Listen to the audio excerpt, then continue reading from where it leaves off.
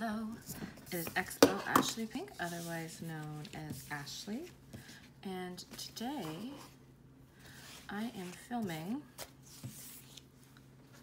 my 20, uh, January 2021 bullet journal setup. So I'm going to be using this really lovely kit from Erin Floto. Um, this I actually got in her Patreon. I will show you. I am her highest tier Patreon. So I got one of these. I believe that it's just like an extra. It has purchased, received, brainstorm, gift tracker. Um, and then this has like the dates, some mail, some checklist stuff, top three. I got two of them for some reason.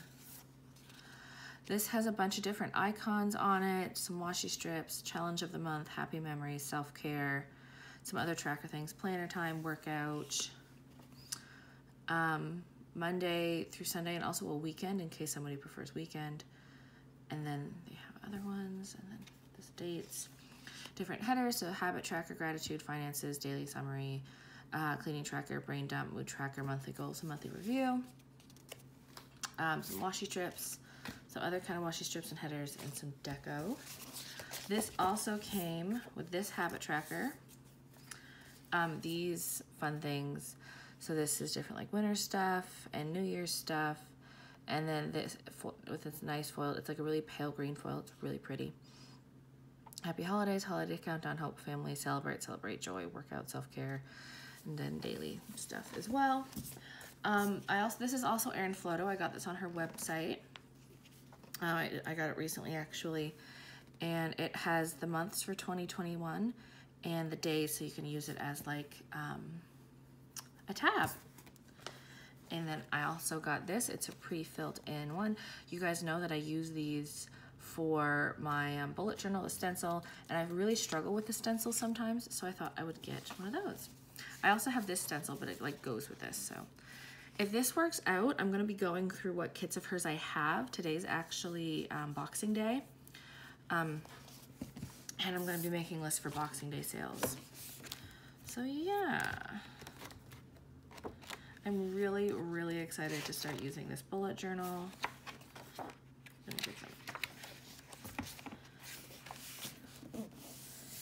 And I'm really excited to start doing, doing it already. I will see you in the, oh, this is sideways. There we go, that's a bit better. See you in the time lapse.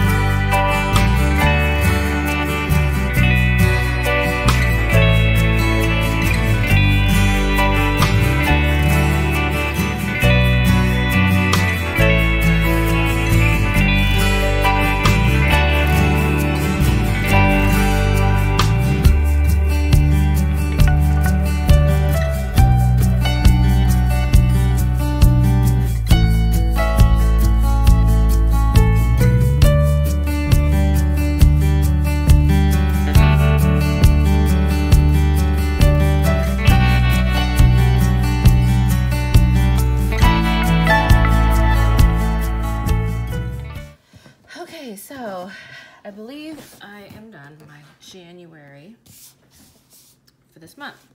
So if I move to January, um, I have this little mini calendar. I forgot I had the mini calendars and that I was gonna do a, a page on that. But yes, I have that. I like how I the deco around here. I had a calendar sticker, so I put that there.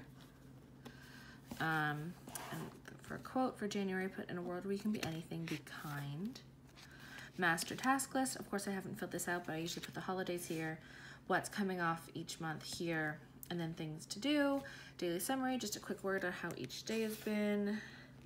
I'm using this for my habit tracker, and I'm gonna decide, I think since bullet journaling, planning, And my period, I know, I think what I'm gonna end up doing is what each thing means for my workout and for Insta. So that means nothing, nothing, under five, five to 10 and 15 plus. Um, post and story, just a story or just a post there. Then I have my mood tracker, cleaning tracker. I thought, I forgot that it was an annual cleaning tracker and that I was gonna use it with my, um, in my bullet journal for like annual cleaning. So I just did that really quick for check off things. Challenge of the month. I do want to plan to do with my um, um, MakseLife um, um, monthly planning, like monthly um, writing prompts. So I think this is going to be like challenge, like what kind of monthly writing prompts monthly goals, so things to do with my MakseLife that I'm doing, and then a monthly review, which are just write a little bit of a paragraph of how the month went and happy memories of the month. My finance tracker. I didn't use my um, ruler. I wanted to try to use the trick that um, Amanda Rach Lee did, which is where she just slowly pulls things towards her. Of course, I knew that wasn't going to work for me because I have an essential tremor, so my hands move around, um, but I tried and it's really wobbly and I'm not sure if I like it, but it's something new. then I have a couple pages of that. My brain dump, gratitude and gift tracker. I wanted to do that because it came with it to see what I got for Christmas. And then I did a one page weekly that has just enough space for like what I usually write in the run of a day, um, a to-do list for the week, and then some three priorities for the week. And then I included the Hydro Tracker because it was there. So yeah, this was a total, see I'm trying to minimize the pages that I use. So this is a total of one, two, three, four, five, six, seven, eight, nine, ten pages back to back.